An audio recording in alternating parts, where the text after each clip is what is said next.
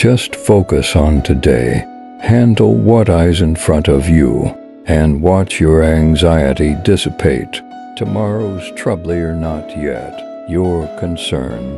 When you learn to survive without Anyon, you can survive anything. Accept yourself, love yourself, and keep moving forward. If you want to fly, you have to give up what weight you down.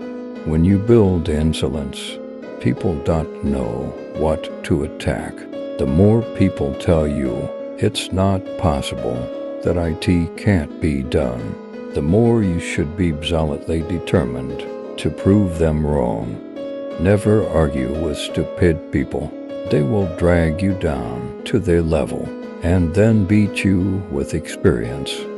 Excuses makes today easier, but tomorrow harder. Discipline makes you today harder, but tomorrow easier. Subscribe, like, share,